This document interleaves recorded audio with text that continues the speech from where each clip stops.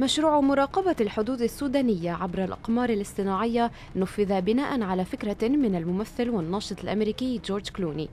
فكرة دفعت بعدد من المنظمات والشركات الأمريكية إلى تصميم موقع إلكتروني تحت عنوان مشروع سنتينل الموقع يعد زائريه بتزويدهم بصور واقعية لتحركات ملفتة قد تشكل خطرا على المدنيين في القرى السودانية في غضون 24 ساعة من حدوثها.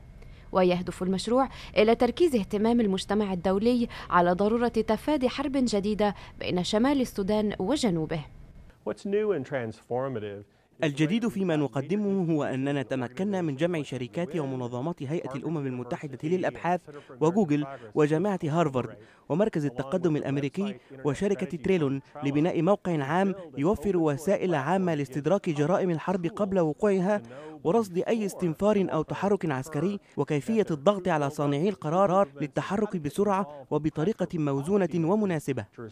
موقع سنتينل ينشر صورا التقطتها أقمار اصطناعية تحلق فوق السودان وهي تابعة لشركة مقرها في فرجينيا متعاقدة مع المشروع. بعد ذلك يتم دراسة الصور وتحليلها من قبل المبادرة الإنسانية لدى جامعة هارفارد وتضاف على الموقع مع تحاليل سياسية وميدانية.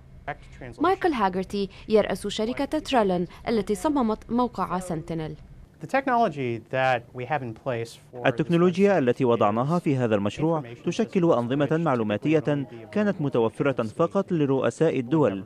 قبل عشرة أعوام كان الأمر يتطلب طائرة تجسس من أجل الحصول على هذه المعلومات. ما ترون الآن على موقعنا هو قرية سودانية بتفاصيل منازلها وشوارعها. وخلال الأسابيع المقبلة سيتمكن زائرو الموقع من معرفة أي أحداث هنا مباشرة فور وقوعها.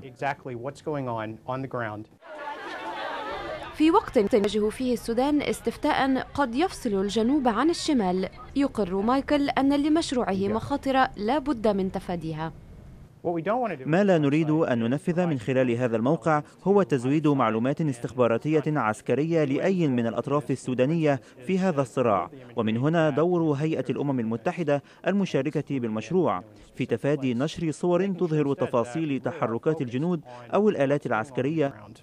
يمكن أن تصل تكلفة الصورة الواحدة إلى عشرة ألاف دولار وحتى الآن تتكفل منظمة كلوني الخيرية بدفع التكاليف لمشروع يطمح القيمون عليه أن يتحول إلى وسيلة أساسية لتفادي الحروب في المستقبل.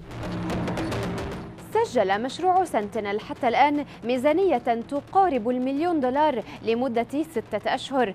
بعد ذلك تقول المنظمات القيمة على المشروع إنها مستعدة لجمع التبرعات من أجل تغطية تكاليف المشروع الذي يعمل الآن تحت شعار العالم يشاهد لأنك أنت تشاهد. جسي المور بي بي سي واشنطن.